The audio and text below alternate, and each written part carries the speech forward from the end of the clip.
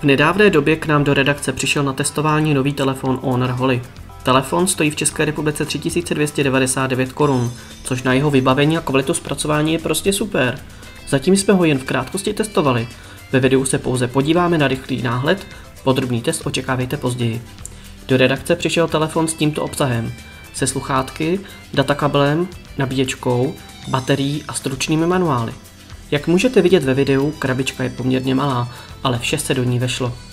Design telefonu je jednoduchý až strohý, přesto v celku povedený. Bílá varianta mobil opticky stenčuje. Na telefonu naleznete dvě mechanická nevýrazná tlačítka na zapnutí a na hlasitost. Nejprve se podíváme na zpracování telefonu, který je poměrně velký s výborným zpracováním plastu. Kryt drží pevně, akorát se k němu malinko hůře dostanete. Je potřeba delšího nechtu. Bohužel lesklý zadní plast rychle ohmatá, až jsou na něm vidět otisky. Fotoaparát má menší výstupek, aby chránil krytku čočky. Na zadní straně také naleznete v celku hlasitý reproduktor. Na čelní straně dominuje černý rám displeje a nenápadná nepodsvětlená dotyková tlačítka a přední kamera a u ní informační dioda. Pro někoho může být malinko nepříjemný výstupek kolem celé přední strany, na druhou stranu chrání displej před poškrábáním. Ploušťka telefonu je přijatelná a dobře se drží v ruce. Mechanické tlačítko na zapínání je v blízkosti palce. Hůře se může k tlačítku na hlasitost.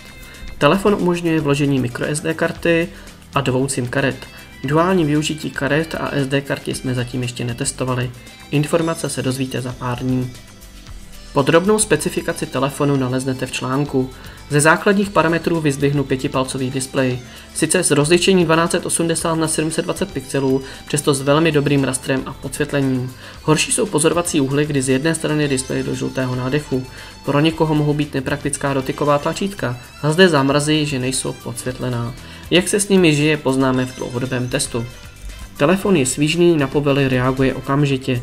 Zatím jsme netestovali výkon telefonu, není v něm tolik aplikací, což se může v dalším testování změnit. Holy obsahuje i zjednodušenou nadstavbu Androidu la Windows Phone, ve které se snadněji hledá.